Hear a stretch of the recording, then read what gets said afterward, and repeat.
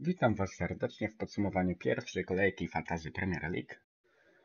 Na początku myślę, że pokażę Wam, kto w mojej drużynie zdobył najwięcej punktów, jak to po prostu wyglądało.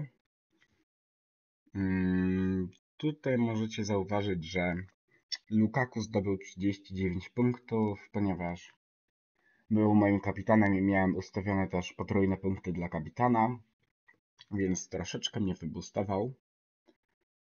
Tutaj też można zauważyć, że Eriksen miał bardzo dobry występ.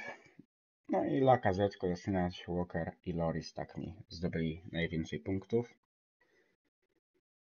Zaraz przejdziemy do no po prostu waszych punktów. Już przechodzimy nawet. Nie transfer, to na później. Tutaj mamy naszą ligę, Edka Klasa. Eee, tutaj widzę, że nowy członek dołączył. Od następnego sezonu będzie Mateusz Szczepański z drużyną wygramy to.pl. No, także witam serdecznie w lidze naszej. Nie wiem jak to będzie z Twoimi punktami, czy Ci jakieś doda, czy będziesz po prostu stratny o tą jedną kolejkę. Ale dobra, mniejsza. Tutaj myślę, że pośpegujemy trochę składy innych. W sensie Wasze składy, jakie mieliście w tej kolejce mi się udało tutaj ładnie przewidzieć, no głównie ten Lukaku. Dzięki Lukaku mam pierwsze miejsce tutaj w naszej lidze. Drugi jest Kasper Plichta ze swoim Rack United. Hmm, tutaj też miał Lukaku, jedynie tylko kapitana miał, a nie triple kapitana. No i tutaj też ładny występ miał Pogba oraz Dawid Silva. No, dobra, to myślę, że już przechodzimy do kolejnego zawodnika. Nie, to nie to. Czy to trzeba tak przechodzić cały czas? Dobra. No, na miejscu trzecim był Alek Pawlik z LKS z Refrodik. Tutaj możemy zobaczyć, że głównie Eriksen mu nabrał punkty i Firmino, którego miał na kapitanie oraz Lukaku. No, czyli tutaj ładnie mu poszaleli ta trójeczka, aczkolwiek Reszta zespołu nie pomogła, no może poza Vertongenem. Vertongen jeszcze bardzo dobry występ miał. No i tutaj jakby też zamienił Courtois De Heom, to by zyskał 5 punktów, no więc no to szkoda. Nie przewidział. Kto by się spodziewał, że Courtois tyle bramek puści z Barney. Okej, okay. kolejne transfery. Nie, nie transfery, kurde, znowu źle kliknąłem. Przechodzimy na czwarte miejsce, czyli Sergio, Sergio Sergiosz z Sergio Crew. Tutaj zobaczmy. Także Lacazette na kapitanie, Lukaku oraz Eriksen, Loris, Walker i Kowacic. E, Kolasinac zdobyli najwięcej punktów. Zobaczmy. No na ławce nie miał czego szukać za bardzo, no więc... Czekajcie.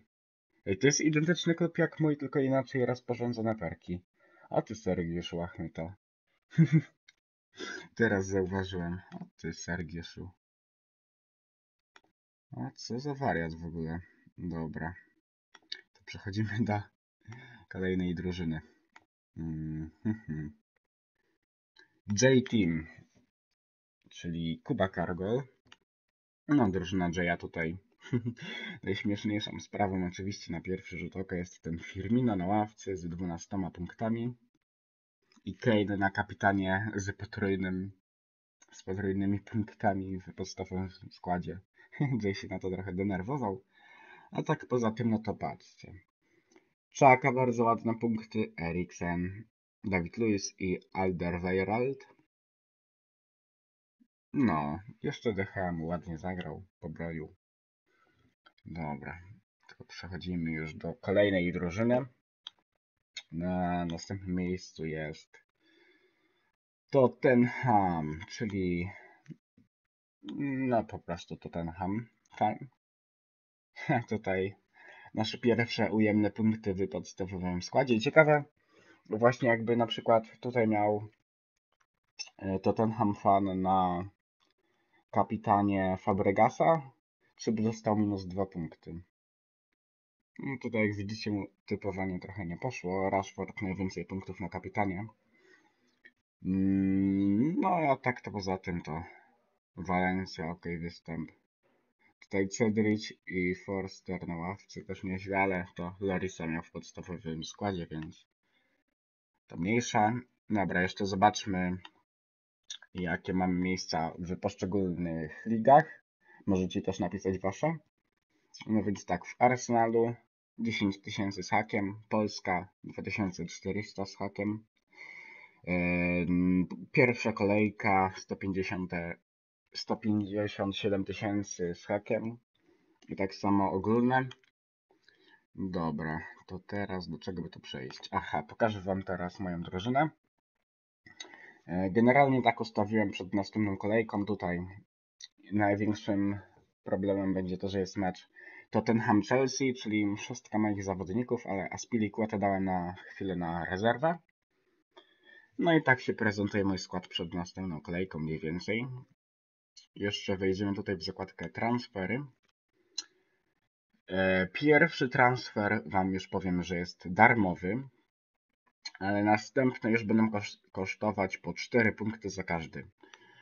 Także no nie jest to może jakoś mega dużo, aczkolwiek jak chcecie wymienić sporo zawodników, to troszeczkę to wam zejdzie.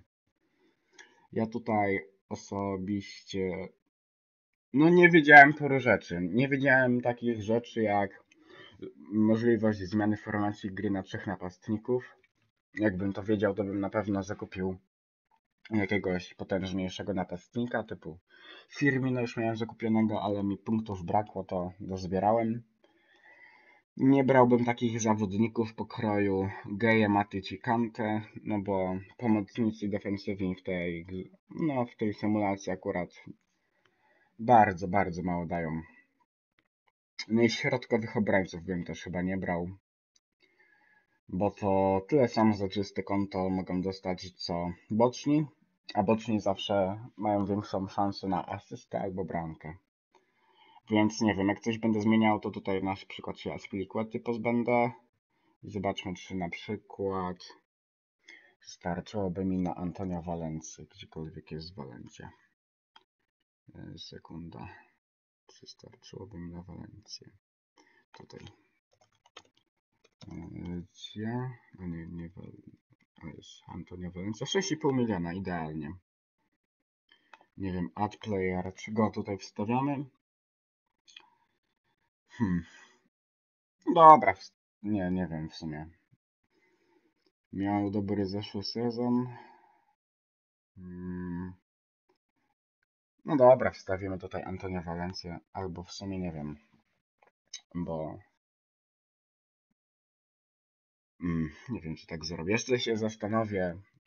Na razie tego nie zrobię, ale analizuję właśnie takie poczynięcie, żeby bocznego obrońcę wstawić za środkowego. No, ale muszę to jeszcze przemyśleć generalnie, bo mam już tutaj trzech, mam już generalnie trzech środkowych obrońców, no więc nie wiem, czy się opłaca czwartego dobierać. Chyba sobie daruję. Zainwestuję w jakiegoś ofensywnego pomocnika pokroju, nie wiem, tam salach widziałem, że jest na pomocy klasyfikowany.